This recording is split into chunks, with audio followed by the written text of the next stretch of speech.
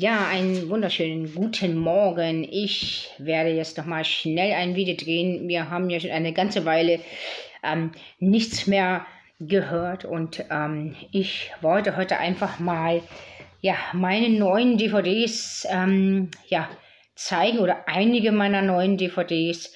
Wer mich kennt, der weiß, dass ich nicht nur gerne Bücher lese oder Hörbücher höre, sondern auch viel DVDs äh, ja, habe und viel DVDs schaue oder auch Streamingdienste.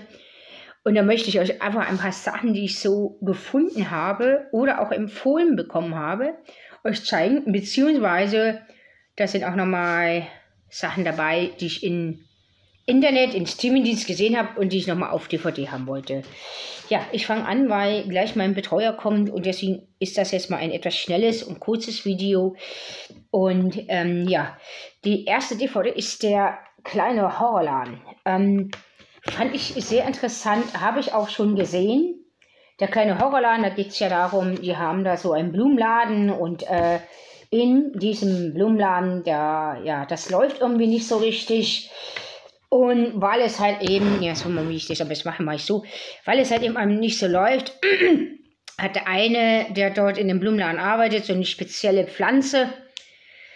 Und diese Pflanze äh, ist total kurios. Ähm, ich werde natürlich nicht das Ende verraten. Und, ähm, und äh, das ist witzig, humorvoll und echt, äh, ja, amüsant. Ähm, Allerdings äh, ist das ja auch wie ein Musical und äh, die, dieses Musical ist leider, also die Lieder sind leider in Englisch. Wer sie auf Deutsch hören will, der sollte zu Amazon Prime Music gehen oder die als CD bestellen. Man kann dann dieses Musical, wo nur die Lieder da zu hören sind, nochmal auf Deutsch hören. Das habe ich nämlich gemacht. Also, der kleine Horrorladen war eine Empfehlung von meinem Verlobten. Und in diesem Video werde ich jetzt nur ein paar neue DVDs vorstellen, die ich jetzt besorgt habe. Ähm, weil, ja, ich habe eine ganze Menge, dann werde ich mal ein neues Video drehen und dann gucken wir mal weiter. Also, wie gesagt, ich muss ein bisschen mich beeilen, weil mein Betreuer gleich kommt. Also, der kleine Horrorladen, ich finde es witzig, das ist so eine besondere Verpackung, so äh, also mir hat das gefallen. Mir hätte es nur besser gefallen, wenn es eine war, noch, noch besser gefallen, mh, hm, wenn es eine Variante gegeben hätte wie deutsches Musical oder englisches, also wo die Lieder in Deutsch oder in Englisch, wie bei Mary Poppins halt eben. Ähm, das hätte ich noch cool gefunden, aber ich werde davon auch nochmal die Musical-CD kaufen, wo man die Lieder in Deutsch hören kann. Ja, dann Terry Pratchett, den habe ich, ähm, und zwar Hockfahrer, den, äh, beziehungsweise Schweinsgalopp, den habe ich auch besorgt, gebraucht, wie ihr seht. Neu gibt es den gar nicht mehr, weil einfach, ähm, ja, ich Terry Pratchett interessant finde und humorvoll und ähm, deswegen habe ich den besorgt und ich finde immer wieder cool diesen, diesen Sensemann, den finde ich immer am witzigsten und äh, das ist so eine Weihnachtsverfilmung und alles ist so, alles ist so ähm, total komisch und chaotisch und humorvoll. Das ist so britischer Humor und ich finde das einfach wie, ja, witzig. Also man muss es gesehen haben. Ich kann es nicht genau von Inhalt her erzählen. Also man muss es einfach gesehen haben. Ist auch schon eine lange Zeit her, wo ich den gesehen habe. Inzwischen habe ich schon ganz viele andere Filme wieder gesehen deswegen ähm, fand ich das so witzig mit dem Weihnachtsmann und irgendwie und aber ich glaube, ich werde noch mal angucken. Vielleicht werde ich da auch noch mal eine Rezension machen dann. Ja, die Wächter habe ich noch nicht gesehen. Ich habe nur die erste Folge gesehen. Ähm, aber ich werde mir das auch mal angucken. Ähm, das ist so dystopisch, so dystopiemäßig. Mm das in die Zukunft, in der Zukunft spielt und äh, ja, wo Bücher verpönt sind und äh, wo alles irgendwie so, ja, überwacht wird halt eben. Ich schaue mir den an, auch dazu denke ich, wenn es mir gefallen hat, würde ich eine Rezension drehen. Ja, ähm, die dreibeinigen Herrscher, auch hier habe ich nur den Folge 1 gesehen, habe gesagt, ja, das ist interessant. Also manches kann man in YouTube so ein bisschen schauen und findet das dann interessant und das habe ich dann auch gemacht. Das ist mit so einem riesen, also da kommt man ja so ein bisschen auch die Frage mit KI, künstliche Intelligenz und äh, Technik und inwiefern diese Technik unsere Welt beherrschen wird. Und hier ist es in dem Fall, das ist so ein dreibeiniges äh, Robotertechnik, keine Ahnung, wie man das bezeichnen will, sicherlich vom Menschen konstruiert und dann falsch und dann irgendwie hat es jetzt die Macht ergriffen. Als ich die erste Folge gesehen habe, hat mich das einfach so an ähm, hier an H.G. Wells erinnert, äh, die Zeitmaschine. Da ist ja auch mit, äh, wo man sieht, dass irgendwas da die Welt beherrscht und Kontrolle hat und die Menschen äh, ja kontrolliert und bewacht. Und ja, keiner wehrt sich dagegen und ja, also das ist schon irgendwie so, so von, von, vom Gefühl her so, so ähnlich vielleicht. Also ja, wenn wir halt eben diese künstliche Intelligenz das nicht richtig hinkriegen oder die Technik, kann sie halt eben auch gegen uns verwendet werden, was wir selbst hergestellt haben. Ja, und das ist hier auch, da bin ich mal gespannt, wie das sein wird. Mal gucken, wenn ich die ganzen Sachen gesehen habe, werde ich auch dazu mehr sagen können. Sweet Inspiration, das ist ein christlicher Spielfilm.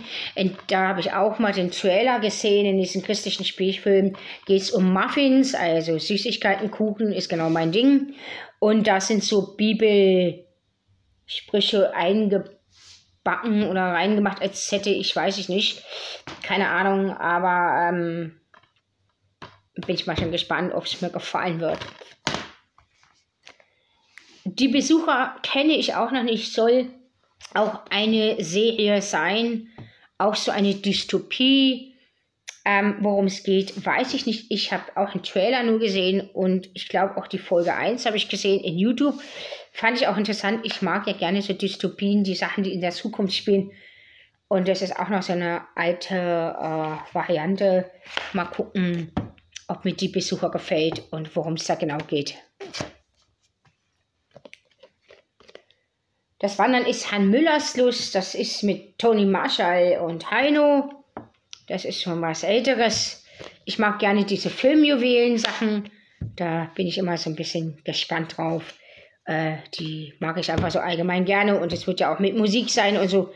Ja, mal gucken. Und Naturbildern. Und ähm, ja mit Hansi Kraus. Schauen wir mal. Ja, Cool Hisits Töchter, äh, auf diese DVD bin ich gestoßen als, ähm, ja, das ist so ein bisschen wie so das doppelte Lottchen-Stil. Ähm, ach, ich bin ein bisschen müde. Äh, ja, da bin ich auch mal so gespannt. Ist auch von ähm, Fernsehjuwelen und äh, das ist auch so zwei junge Frauen, die so ähnlich aussehen und dann es zu Verwechslungen kommt, aber in Erwachsenenvariante. Also jetzt nicht Kinder, sondern Erwachsene und mal gucken, was mir gefällt. Ja, The Color of Magic den habe ich damals auch in Steamy-Dienst gesehen. Ähm, das ist äh, auch von Terry Pratchett. Fanden Christian und ich total witzig, weil wir haben ja beide Terry Pratchett-Filme gesehen. Ich kann euch auch sagen, ich fand es cool. Der ist jetzt neu rausgekommen, also neu in dem Sinne als Cover.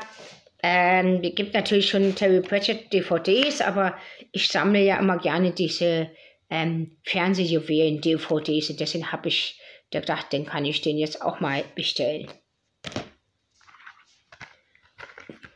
Ja, dann gibt es halt Joyce Meyer, die habe ich mir gekauft. Ähm, das ist auch eine, ein christlicher Vortrag.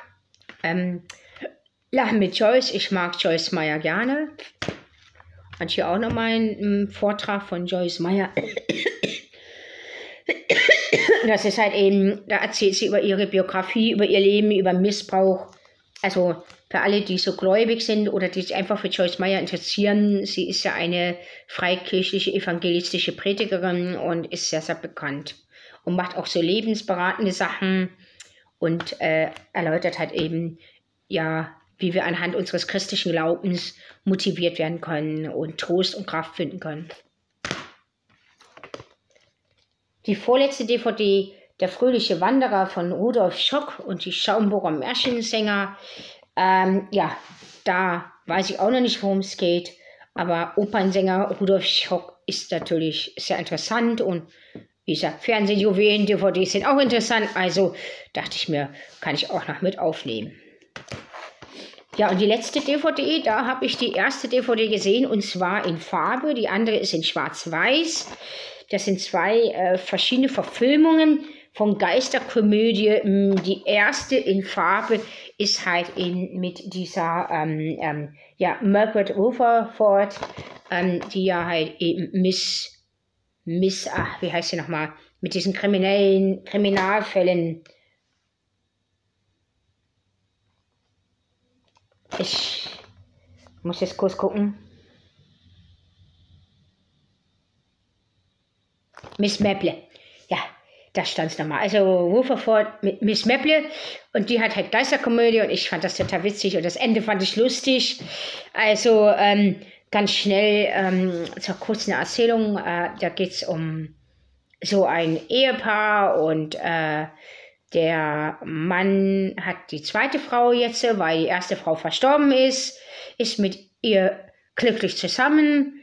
Und dann laden die sich da so eine, äh, eine Wahrsagerin, eine ja, Wahrsager, magische Person ein. Äh, die macht so ein, so ein Session mit ihnen und äh, sitzen dann im Kreis und so mit, äh, mit Händen auf dem Tisch. Und sie ist eine Betrügerin eigentlich, ja. Sie ähm, wollte nur halt eben damit Geld verdienen und in Wirklichkeit kann sie es eigentlich gar nicht, diese Session und diese ganzen Nuancen, nee, Seance, Seance oder wie das heißt, ich kenne mich da nicht so gut aus, Seance oder so. Ähm, jedenfalls ähm, passiert aber dann auf einmal, dass der Mann seine verstorbene Frau als Geist sieht. Und nur er kann sie sehen und das hat dann diese diese Frau herbeibeschworen und dabei war es gar nicht eigentlich gar nicht, äh, die war dann auch erschrocken, dass sie das doch konnte oder wie auch immer. Aber er war dann der Einzige, der das gesehen hat und das Ende ist dann halt eben, sie macht ihn das Leben schwer, beziehungsweise nicht ihn, sondern auch seiner zweiten, also die zweite Frau halt eben und äh, da kommt es dann zu Konflikten und Schwierigkeiten und äh, ja, Eifersuchtsszenen so ein bisschen. Ja, und beziehungsweise einfach so Szene von der verstorbenen Frau, weil die verstorbene Frau wollte unbedingt, dass die halt eben wieder zusammenkommen und das geht ja nicht, wenn jemand verstorben ist. Und dann versuchen die sie halt eben wieder zurückzubringen in diese Parallelwelt, in diese, ja, wo halt eben diese verstorbenen Geister hin sollen. Und das Ende möchte ich natürlich jetzt nicht äh, verraten. Das ist total witzig. Ja, in diesem Sinne wünsche ich euch einfach einen Schönen Tag heute noch. Ich kriege gleich noch Besuch mit, von meinem Betreuer und hoffe, dass da einiges dabei war, auch mit diesem kurzen Video und wünsche euch alles Liebe. Bis dahin, eure Peggy.